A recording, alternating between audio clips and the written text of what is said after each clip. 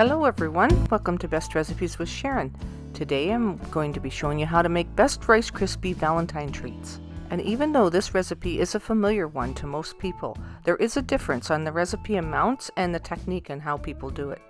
So stay with me and I'll share my recipe with you. Start by greasing the pans that you're going to be using. Place a generous quarter cup of butter in a large saucepan and turn your heat on high. Stir it constantly until the butter starts to melt. Add your marshmallows before the butter is completely melted. And we need about 42 large marshmallows. Stir it constantly so that it doesn't stick. Turn your heat down low. Stir it briskly so that it will help to melt the marshmallows and it won't need to be on the heat as long. Remove it from the heat before the marshmallows are completely melted. And they will continue to melt just with the heat that's built up in the pan already. Now add about a quarter of a teaspoon of salt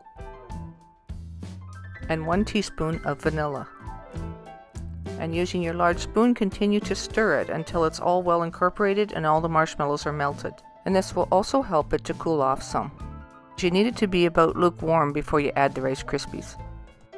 If it's too hot, it will cause the Rice Krispies to shrink and they will be too hard. And we want our treats or squares to be nice and chewy. Next, I add 5 cups of Rice Krispies all together. Add a cup or two at a time and stir it in between, making sure that all the Rice Krispies are coated with the marshmallow mixture. Now then you press it into your greased pans, and when I say press it in, you press it down until it's firm. Now I did two separate batches so that I would have enough to do all the treats that I wanted to do today. So as you can see I'm using different pans. This is a cookie sheet and I grease my hands and press it down so that it's nice and firm. It doesn't have to fill the whole cookie sheet in, just as long as it's about an inch thick and remove the heart shape from the pan before it's completely set so that you can get it out of the pan easily. And you can see what I'm using all these different shapes for as we go along. Now you'll need to get out cookie cutters and I'm looking at which would be the best one to use. Hmm, not the plastic ones, they will break.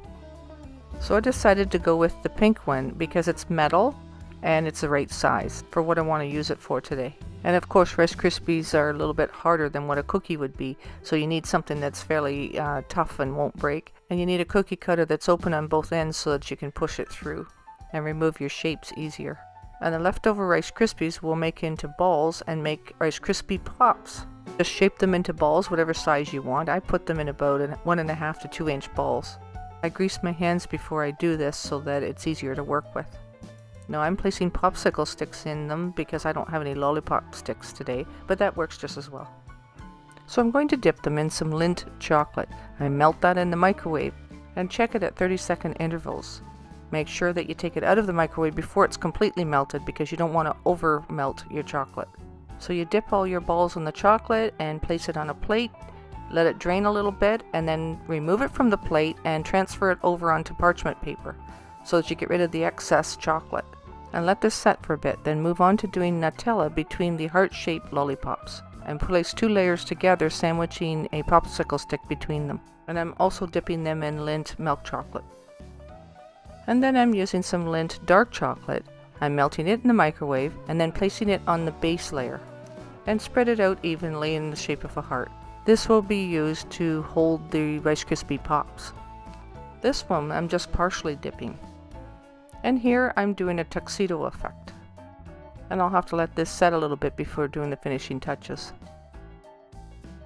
I'll get some white icing just to put on there to make it look like the shirt and use a popsicle stick to trim it a little. And I dot on the buttons and bow tie just with a toothpick.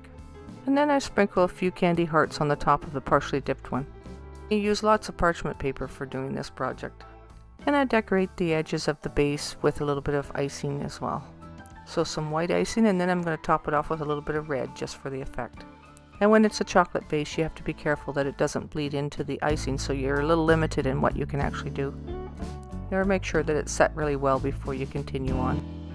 So lots of treats. What do you think? These actually taste really good. They're nice and chewy and soft inside and the flavor is phenomenal.